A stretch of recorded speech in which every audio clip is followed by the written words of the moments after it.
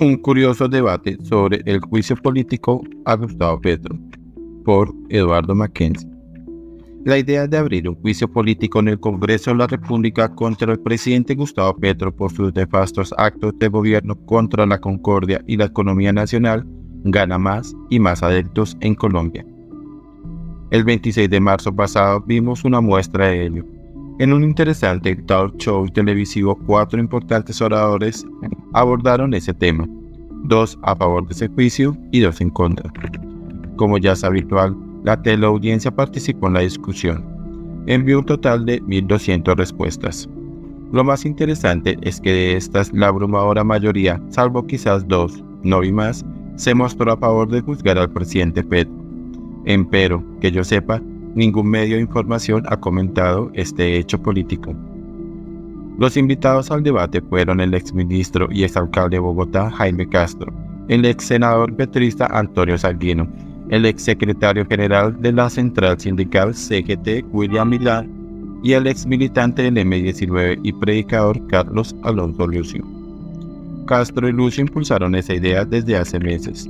También lo hacen el abogado José Manuel Abuchaibe y el empresario opositor Pierre Gonzaga Ramírez. Ambos solicitan desde mayo de 2023 la aplicación del artículo 109 de la Constitución Nacional y decretar la pérdida de investidura por la violación de topes electorales de la campaña de Petro en 2021-2022, pero no fueron llamados a presentar sus argumentos.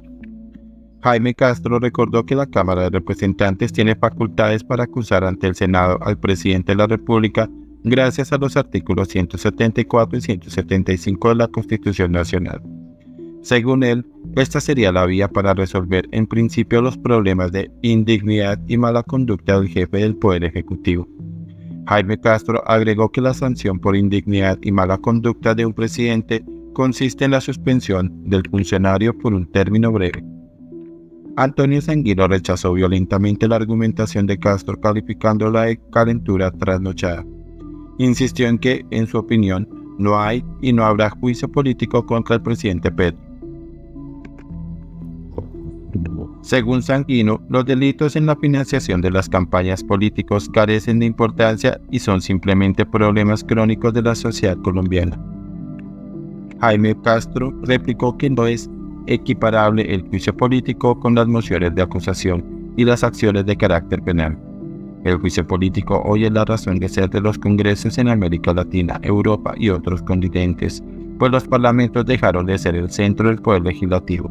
Añade, la iniciativa legislativa está ahora en manos del Poder Ejecutivo y concluyó, gracias al control político que le hace el Congreso al gobierno, la oposición puede convertirse allí en alternativa de poder. Carlos Alonso Lucio confirmó por su parte que el juicio político es una institución histórica de la democracia que defiende el derecho de las sociedades a juzgar a sus gobernantes, ya que estos son responsables ante la sociedad. Ante tal análisis, el moderador lo interrumpió. El juicio político aquí en Colombia no tiene validez, lanzó Adolfo P., extremo errado que Sanguino respaldó inmediatamente. Sanguino intentó perfeccionar su demostración con una pirueta irracional. Declaró que ni siquiera Belisario Betancourt había sido objeto de un juicio político, por lo que él hizo en el Palacio de Justicia en 1985. El presidente Betancourt, según Sanguino, debía haber sido juzgado por haber ordenado al ejército rescatar a los rehenes y restablecer el orden.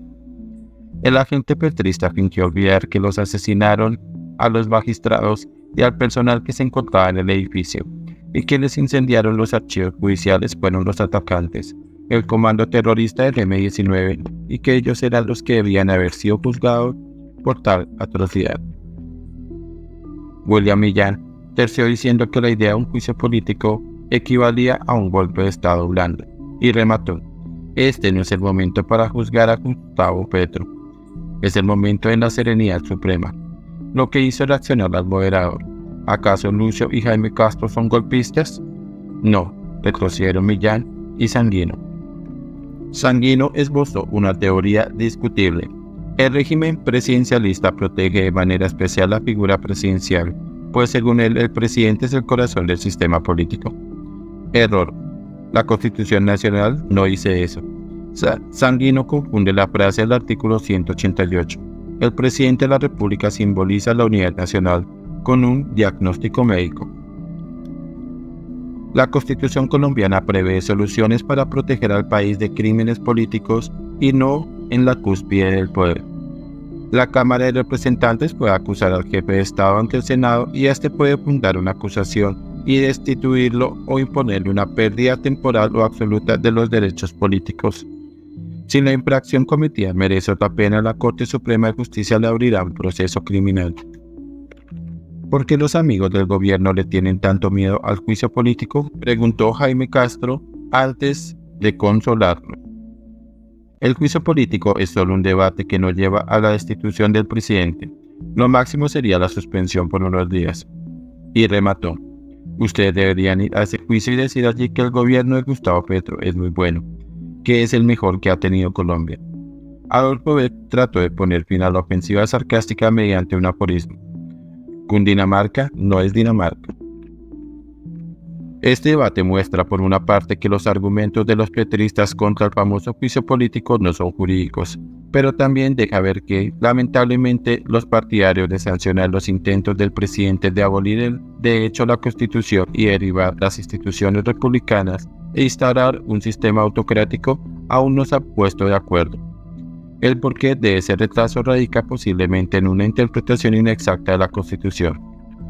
Tendré el gusto de discurrir sobre ese punto en un próximo artículo.